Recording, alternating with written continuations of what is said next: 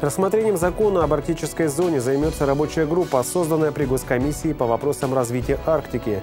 В ее состав, по мнению главы Ненецкого округа, должны войти представители всех арктических субъектов. Моря из луж. Наринмар вновь поплыл. Несмотря на работу коммунальщиков, город продолжает утопать в талом снегу. Кто виноват и что делать, расскажет Александра Литкова.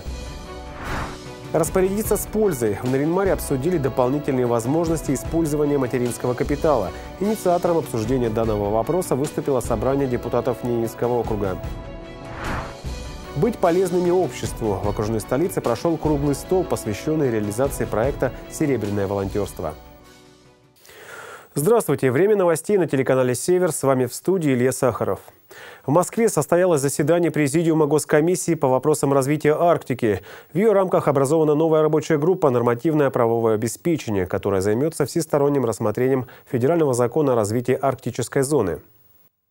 Как отметил в ходе заседания вице-премьер правительства России Дмитрий Рогозин, в законе должны быть определены понятия, необходимые для нормативного правового регулирования, касающегося арктической зоны России, например, арктическая зона Российской Федерации, Северный морской путь, описание механизма формирования и функционирования опорных зон развития, а также представление правительством России ежегодного отчета в Государственную Думу о развитии арктической зоны.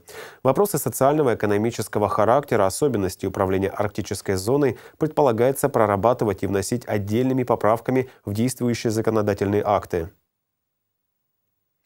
Мне бы хотелось, чтобы в состав рабочей группы обязательно вошли представители всех регионов, входящих в арктическую зону России. Я неоднократно говорил об этом, готов повторить снова. Кооперация регионов, совместная реализация глобальных проектов могут принести исключительную пользу для развития российской Арктики в целом и инфраструктуры субъектов в частности, сказал глава Ненецкого округа Александр Цибульский, принявший участие в заседании Госкомиссии. Также участники заседания Президиума Госкомиссии обсудили вопросы развития космической спутниковой группировки для оказания услуг связи в арктической зоне России, ход реализации мероприятий государственной программы «Социально-экономическое развитие арктической зоны», развитие пограничной инфраструктуры в Арктике и ее техническое переоснащение. С сегодняшнего дня дорожники прекращают обслуживание зимника Наринмар-Усинск. Дата прекращения работ определена государственным контрактом, который был заключен с Наринмар Доремстроем. Также с сегодняшнего дня закрыты ремонтно-дорожные пункты, которые в течение четырех месяцев работали в круглосуточном режиме. Зимник Новинмарусинск начал свою работу 28 декабря. За это время по дороге проехало более тысячи автомобилей. При этом пиковых нагрузок на искусственное дорожное сооружение в январские праздники зафиксировано не было, поскольку был закрыт для движения зимник в республике Коми, открывающий путь на Большую Землю. Ледовая переправа в районе села Усть-Уса была открыта в более поздние сроки. В этом сезоне на строительство временной трассы из окружной казны было направлено 13 миллионов рублей. Еще 80 миллионов рублей в бюджете округа было предусмотрено на его содержание содержания. В централизованном стройзаказчике дополнительно сообщили, что зимник Наринмар Тильвиска в случае благоприятных погодных условий будет работать до 30 апреля. Такой срок прописан в контракте. Подрядная организация, содержащая зимнюю дорогу, ежедневно производит замеры толщины льда на переправе через протоку Казенная Виска. Наринмар поплыл. Огромные лужи перекрывают путь пешеходам и бескрайними океанами разливаются по проезжей части. Несмотря на то, что ежедневно на уборке улиц от снега и откачку воды отправляется до 12 единиц снегоуборочной техники, фронтальные погрузчики, трактора, самосвалы, малые коммунальные машины, комбинированная дорожная и две илососные машины. Кто виноват и что делать, разбиралась Александра Литкова. На дворе весна, и Наринмар утопает в талой воде. Таяние снега, не вывезенного вовремя, одна из причин огромных луж на улицах. Обратил внимание на состояние городских дорог и временно исполняющий обязанности губернатора Ненецкого округа Александр Цибульский на недавнем заседании окружной администрации. Если бы в течение года убирали так, как я просил, у нас бы сейчас были чистые улицы. Но вы же мне все рассказывали, что это невозможно. Вы людей даже уже убедили в том, что у нас северные регионы невозможно убирать улицы. Вы просто людей убедили в том, что ваша беспомощность в этом – это норма. Это не норма. Сейчас было тепло. Почему вы не убрали эту улицу? Когда можно было один раз грейдер пустить и всю эту массу оторвать от э, подтаявшего э, асфальта. Сейчас опять заморозки будут. Вы там сами проехали? Ну сядьте на машину, проедьте там. Я вот на, на мультивене, на Volkswagen не смог там проехать. Не у всех у нас есть Land Cruiser в доме. в городе. Как считают представители коммунальных служб, одна из основных причин данного явления – отсутствие в нашем городе системы водоотвода поверхностных вод, которая включает в себя и ливневую, и дождевую канализацию, и прием стоков талых вод. В чем проблема луж вот этих? Это несоответствие наших дорог. У нас нет ливневой канализации в городе, ни одна. И улицы построены так, что э, водооттока нету. Мы сегодня ждем, когда вот немножко тает. У нас законсервированы, по осени были законсервированы наши дренажные колодцы, которые у нас находятся на балансе. Как только немного позволит погода, оттает, мы их вскрываем, они пустые находятся. Соответственно, мы сможем более качественно и плодотворно работать. Особенно проблемными в этом плане являются улицы Чернова, Ненецкая и Швецова. Это улица Ненецкая. Без резиновых сапог тут не обойтись. Особенно страдают молодые мамы. С коляской не пройти, не проехать. Только в такой обуви можно пройти, потому что и, э, ну, это неудобно. И с коляской тоже вот э, заливает нижний, допустим, короб у коляски. Такие лужи не пройти вообще. Снег, мне кажется, вообще не вывозили в этом году. Так что все затапливает. Плохо все.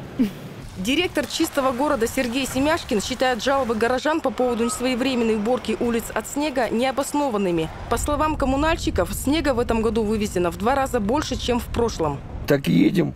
Не первый же год.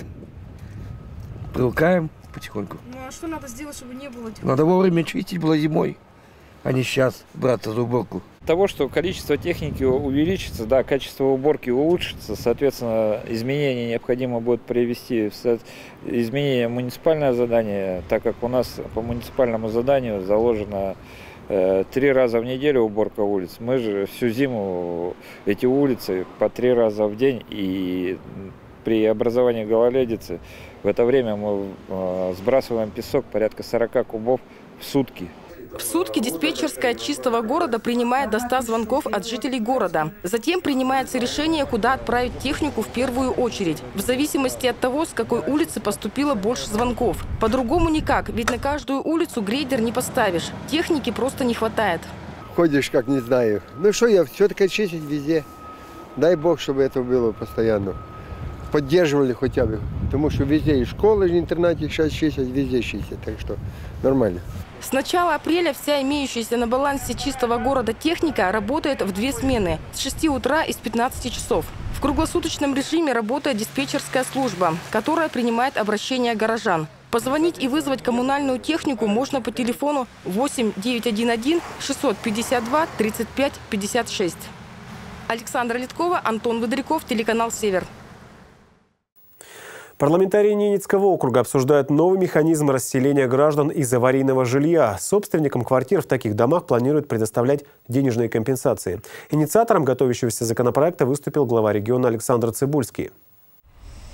Представители Департамента строительства в ходе рабочей встречи с депутатами пояснили, что собственники жилых помещений аварийных многоквартирных жилых домов по желанию смогут воспользоваться правом получения денежных выплат для приобретения в собственность иного жилого помещения, в том числе за пределами Ненецкого округа. При этом общая площадь приобретаемого недвижимого имущества должна быть не менее освобождаемого жилья. Планируется, что получать денежную выплату вместо квартиры граждане смогут вне зависимости от того, когда их дом должен быть расселен.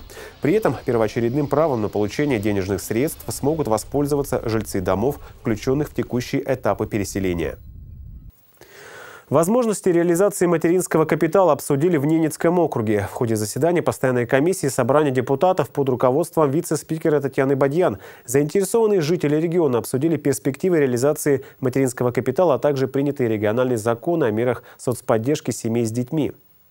Размер регионального материнского капитала в Ненецком округе является одним из самых больших по стране и составляет 366 356 рублей. Ранее, выступая на заседании Постоянного комитета по социальной политике в Калининграде, Татьяна Бадьян предложила расширить направление использования федерального маткапитала. Например, на приобретение легкового семейного автомобиля, оздоровление детей, получение высокотехнологичной медицинской помощи, в том числе за пределами Российской Федерации детьми, а родителями-усыновителями. Вот ответственное отношение к детям, оно показывает уровень развития нашего общества. И если вот подобные круглые столы, комиссии, встречи будут проходить как чаще, это только мы э, не просто вот на бумаге, не просто декларировать будем, мы на практике будем как раз заниматься тем, чем мы должны и громко любим говорить. Все для вас, для детей, все ради жизни на земле. По словам начальника управления социальной защиты Светланы Каневой, необходимо пересмотреть приоритетное направление целевого расходования средств материнского капитала, ведь некоторые из них мало актуальны, другие совсем не востребованы. Мнение департамента Конечно, будут предложения, мы все обсчитаем. При формировании на этот год уже отдельные статьи приостановлены. Все это знают. Будем рассчитывать э, бюджет 2019 года. Если будут какие-то предложения, мы все обсчитаем, посчитаем, обсудим. Вынесем на обсуждение у нас при департаменте Рабочая группа с клубом многодетных семей работает на постоянной основе. Естественно, мы с ними будем все это обсуждать. По мнению участников регионального клуба многодетных родителей «Семья», необходимо рассмотреть возможность введения ежегодной выплаты из средств материнского капитала по таким направлениям, как компенсация расходов на коммунальные платежи, санаторно-курортное лечение, приобретение дорогостоящих лекарств, газификация, водоотведение использование средств материнского капитала на приобретение автомобиля, приобретение строительства гаража, возмещение расходов на приобретение товаров длительного пользования, а также проанализировать подзаконные акты на предмет упрощения механизмов получения обозначенных мер социальной поддержки. Все предложения и замечания, внесенные участниками комиссии относительно расходования средств материнского капитала, будут обсуждаться еще не раз. Для того, чтобы достичь успеха, нужно прежде всего найти понимание. Поэтому в преддверии проведения данной комиссии у нас проходили рабочие встречи, прежде всего с руководителем департамента э, соцзащиты и здравоохранения труда Свиридовым Сергеем Анатольевичем. Я уже говорила, что на встрече э, в рамках парламентской недели депутатов это было в понедельник, 23 апреля, Э, данная тематика была озвучена, и никто из них э, резко не высказался против. Самые популярные предложения будут детально рассмотрены на предмет реализации, и, возможно, перечень условий расходования регионального материнского капитала вскоре расширится. Ольга Русул, Дмитрий Лукевич, телеканал «Север». В Ненецком округе объявлен первый в этом году конкурс на право получения семейными родовыми общинами коренных малочисленных народов Севера грантов из окружного бюджета. Прием заявок на участие в конкурсе начнется с 7 мая и продлится до 27 мая. Участниками конкурса могут быть зарегистрированные организации КМНС, осуществляющие деятельность на территории региона. Числе основных критериев конкурсного отбора – значимость и актуальность планируемых мероприятий для устойчивой деятельности семейной и родовой общины, их экономическая и социальная эффективность. Победители определяются по количеству набранных баллов. Всего на грантовую поддержку общин коренным малочисленным народом Севера в Ненецком округе в 2018 году предусмотрено 3 миллиона рублей. Из них 2 миллиона планируется распределить между заявителями в мае. Оставшиеся средства будут распределены в четвертом квартале текущего года. Максимальная сумма гранта составляет 300 тысяч рублей. Таким образом, по результатам майского конкурса поддержку на обеспечение деятельности могут получить не менее шести семейных родовых общин. В Наринмаре обсудили реализацию проекта «Серебряное волонтерство». Заседание круглого стола прошло в рамках основных мероприятий по проведению в Ненецком округе Года добровольца. Люди высокого возраста сообща решали, какие добрые и нужные дела они могли бы реализовать, тем самым став полезными обществу. Движение «Серебряное волонтерство», которое объединило людей высокого возраста, еще совсем ребенок. Оно зародилось в Санкт-Петербурге в 2013 году, но за пять лет своего существования доказало свою востребованность. Как отмечают организаторы движения, это направление волонтерства позволяет людям вести активный образ жизни после выхода на заслуженный отдых. Ведь именно тогда появляется свободное время, в том числе и для общественных дел. Добровольчество вообще, в принципе, для нашего, для наших соотечественников, для России России это движение, оно как бы неотъемлемо, оно наше родное, оно нам понятно, и оно нам привычное. Если э, сравнить немножко о том, как развивается добровольчество в, в мире и у нас, я хотела бы вам привести некоторые факты. Да? А, в демократических вообще государствах, а мы с вами тоже, э, наша страна относится к демократическому государству, вот, э, институт добровольчества и волонтерства является одним из механизмов института э, демократического общества, поскольку он показывает о зрелости государства и нацеленности его на решение социальных проблем. Среди пожилых волонтеров немало тех, кто просто продолжает делать то, что делал всю жизнь, в то время как другая часть пенсионеров впервые находит время на безвозмездное служение обществу. Сейчас участники движения «Серебряное волонтерство» в Ненецком округе находятся в поиске идей, как и чем помогать обществу. Одна из них – принять участие в экологических акциях, субботниках, мероприятиях по озеленению, к которым относятся посадка цветов и деревьев. В районе аэропорта по генеральному плану города выделена большая территория под, э, под питомник. Город надо засаживать, и то, что мы выдергиваем из леса э, небольшие растения, да, потом их пытаемся укоренить, они не выживут, это скажут все биологи. Выживет только то растение, которое привыкло жить в одиночку в некотором расстоянии. Это то э, требование, которое соблюдают питомники. Только дерево, которое может жить без покрова других э, деревьев, да, оно выживет на, на городском газоне. Все остальное мы и там убили, и сюда не, не привили. По итогам мероприятия участниками круглого стола была принята резолюция, которую планируется направить всем заинтересованным лицам. Александра Литкова, Любовь Пермякова, Антон Выдряков, телеканал «Север». Социально-гуманитарный колледж распахнул свои двери для потенциальных студентов. Сегодня все желающие жители Ненецкого округа могли узнать, какие профессии дает обучение в колледже, чем занимаются на парах студенты. По мнению организаторов мероприятия, такая профориентация помогает определяться с выбором будущим выпускникам школ, а кому-то получать вторую профессию. Девятиклассница из Красного Маша Тайбари с выбором своего дальнейшего пути пока не определилась на 100%. Один из вариантов, говорит девушка, получить образование по специальности учитель начальных классов в колледже. Мне рассказывали ну, про, ну, про учебу, ну, про жизнь ну, студентов и ну, про много чего. Вот. Ну, все еще ну, впереди. Для многих потенциальных студентов возможность получить образование в колледже своего рода стартап перед поступлением в ВУЗ. Первокурсница Кристина Бабикова уверена, выбрала правильную профессию. Окончив колледж, намерена работать и учиться дальше. Ну, здесь дружные ребята, а, учителя добрые, хорошо здесь учат. Кофейная Арктика, Альпийская горка, город моей мечты. Начинающие дизайнеры из колледжа участвуют в различных проектах местного, регионального и даже международного масштаба. Это направление одно из самых востребованных в России. Они после девятого класса приходят к нам, да, и, в общем-то, получается, что они вот э, четыре года занимаются вот именно вот оформительской такой деятельностью. В этом году мы как раз набираем мы еще один, одну группу дизайнеры уже, которые связаны с компьютерной графикой, которые востребованы будут на, на, на рынке. Кроме того, будущие абитуриенты имели возможность погрузиться в выбранную профессию. Специально для них преподаватели и студенты колледжа подготовили мастер-классы по занятиям робототехникой, первой медицинской медицинской помощью созданию дизайнерского сувенира. В этом году мы будем э, проводить набор после 9 класса на три специальности. Это преподавание в начальных классах, э, квалификация учителя начальных классов. Это сетевое системное администрирование и графический дизайн, профессия графического дизайна.